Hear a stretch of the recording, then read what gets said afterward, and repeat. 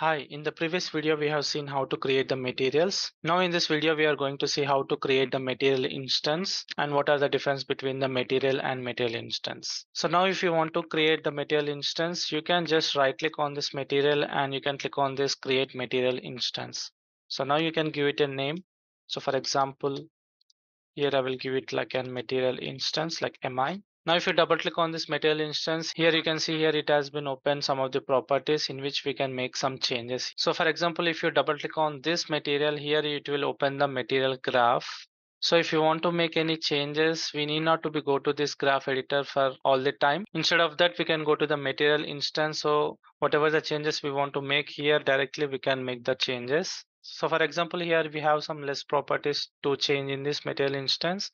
So now if you double click on this, so if you right click on this texture sample and if you click on this convert to parameter, let's say we will name it as base color. And if you click on this save now you can see if you double click on this instance now it has been added one property called base color. The base color which we have given the name in the material graph. Suppose what the use of it is if you have only one material and you can make it different kind of material instance and you can apply to different models. So for example if you take another model. Let's say if I take this model now and if you drag and drop in case if I apply this material instance to this thing now it won't match because the material is different and the model is different. Now what we can do is in this material instance you can click on this base color and now whatever the texture you want to use we can directly drag and drop so that now the material has been matched. But still you need to match the normal maps too so what we can do is, so we can go to the materials and we can double click on this and we can convert the remaining two parameters. So convert to parameter. Let's say we'll call it as normal and right click, convert to parameter. We can metal something.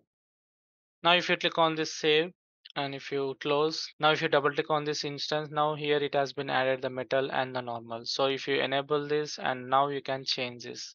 So for example if you go to this thing and directly you can drag the normal here and you can drag this roughness so that it will match properly. So this is a very useful option here. Now if you have one material and you can create a number of instance so that you can apply to different models and now you see if you go to the original model and if you click on this material instance here you can see there are a lot of properties in which we can change the color of the texture. So if you enable this albedo tint and you can change the color of the texture too.